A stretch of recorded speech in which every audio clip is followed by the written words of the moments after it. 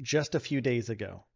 SpaceX stacked Starship SN20 on top of Booster 4, and just yesterday, they unstacked or destacked Starship SN20 from Booster 4.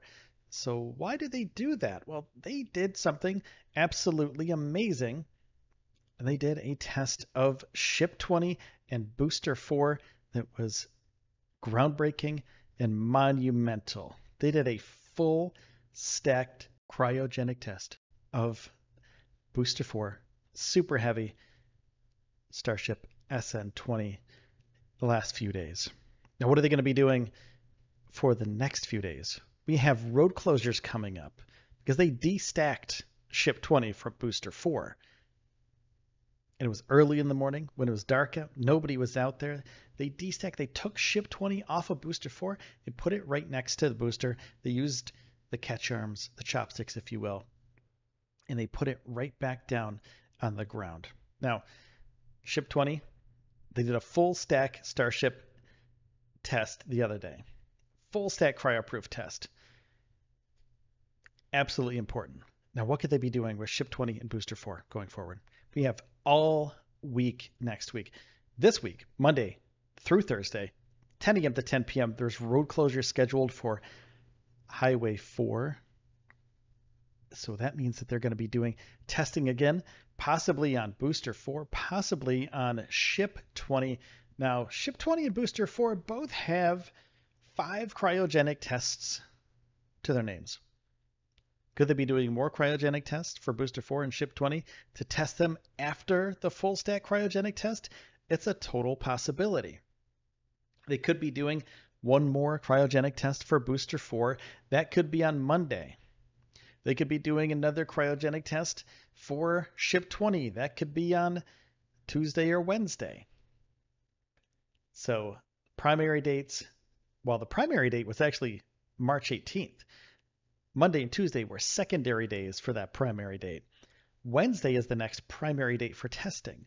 So, it's possible, and I've talked about this a million times, that they just kind of skim over the day and possibly close the road later if they have something to do.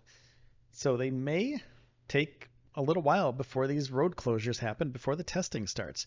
Some days a 10 a.m. road closure ends up being a 4 p.m. road closure till 10 p.m. I've been down there personally.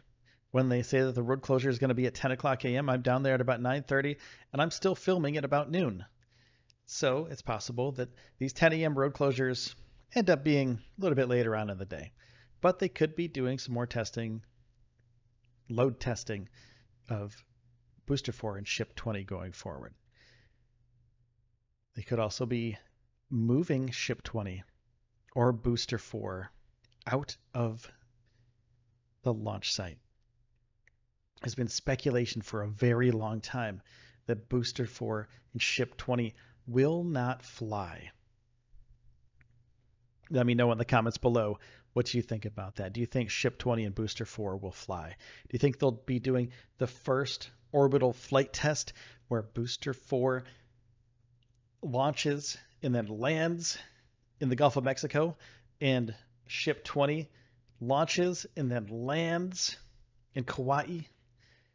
Do you think that's going to happen? Or do you think they're going to move on to another ship and another booster? And if so, let me know in the comments which ship and booster you think they're going to move on to. Now, let me preface this with something else too. I guess it's not a preface, it's after the fact. After I ask you the question. What if they move on to the next booster to the next, next ship?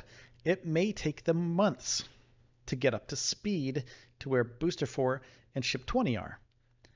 So if they're going to be doing that, we may possibly get a postponement of this launch, this orbital flight test. So let me know in the comments what you think.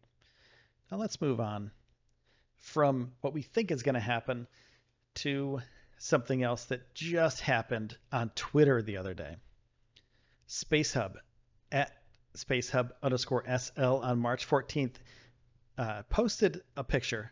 1969 had a, a moon landing photo, and then 2000 underscore underscore question mark saying, uh, "What's your guess, Elon Musk?" Ask it basically asking Elon Musk when Starship will land on Mars. Will land people on the surface of Mars. Elon Musk replied, 2029.